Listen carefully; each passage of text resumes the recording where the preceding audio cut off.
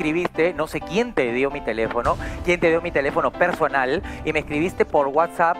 Hola, ¿qué tal queridos suscriptores? Sean bienvenidos a este tu canal Farándula Perú y más. Así empezamos con las novedades el día de hoy. Ahora, si es que Austin entra a ese programa, ¿tú vas a aceptar trabajar con un maltratador? Eso sí sería nefasto. Y de parte también de la producción, que permitan que alguien que considera a otra persona maltratador la obliguen a trabajar.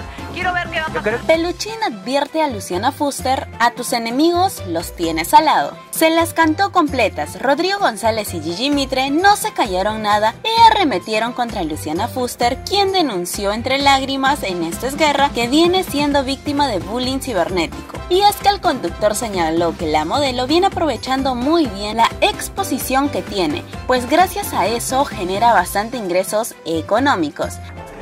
¿Cómo tu presencia nos genera resultados? Por eso la llevaron a vacilar, por eso la parejita la quisieron tener siempre ahí. No, como su presencia les genera resultados, ellos no quieren prescindir de la Fuster. Finalmente la Fuster no le está quitando el novio a nadie. Simplemente se está metiendo con los novios de sus ex amigas. Ex amigas para hacer grupo, para arruinar a las otras que la están evidenciando. Entonces todo este número se lo montó ella.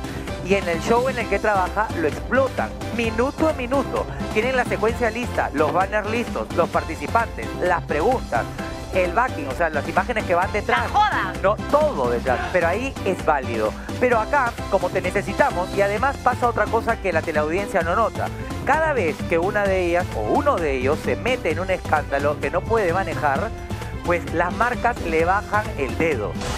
Denuncies bullying, alegues depresión, o sea, hablando de cosas tan a la ligera. Asimismo, Peluchín aseguró que Luciana Fuster se viene victimizando con esta polémica y la invitó a conversar con los productores de estas guerras para que no se vea afectado su bienestar emocional por tanta exposición de su vida privada. Hay que irse a buscar una ayuda Porque y no estar ayuda. haciendo esos gritos de... eh, las cosas no están saliendo como yo quiero, esto me está ofendiendo, esto me está humillando, que también puede, tiene todo el derecho de denunciar si algo no le gusta, o sea, hay personas que están saliendo pues a decirle disparate y medio. O sea, ella no, ella no ha hecho un circo con su vida, ella no ha eh, provocado con comentarios como, por ejemplo, el motivo por el cual el pato dejó a Flavia. Ella no, no ha hecho nada, nada. Nunca se ha referido como maltratadora a Austin, nunca ha estado con Emilio. Nada, nada. Ella cero mea culpa.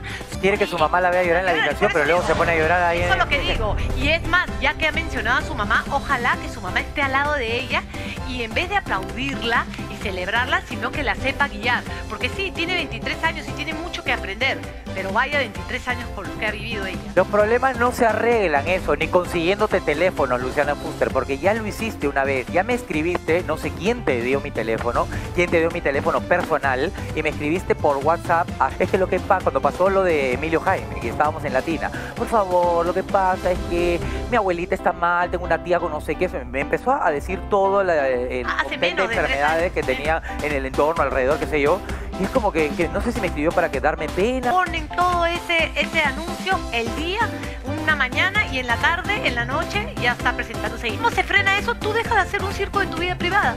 Porque de la nada, de o sea, si no nos das ese contenido, no solo a nosotros, a tus seguidores, a los otros programas, Estoy tranquilo. Los motivos verdaderos por los cuales estoy en esta situación. No me parecen justas.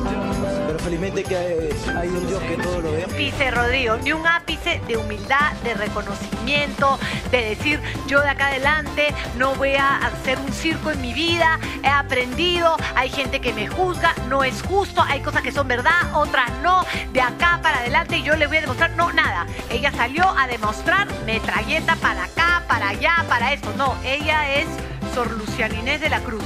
Todo lo demás, satánicos, todos los seguidores, todo, porque ella no necesita de seguidores ni nada, porque ella tiene su talento.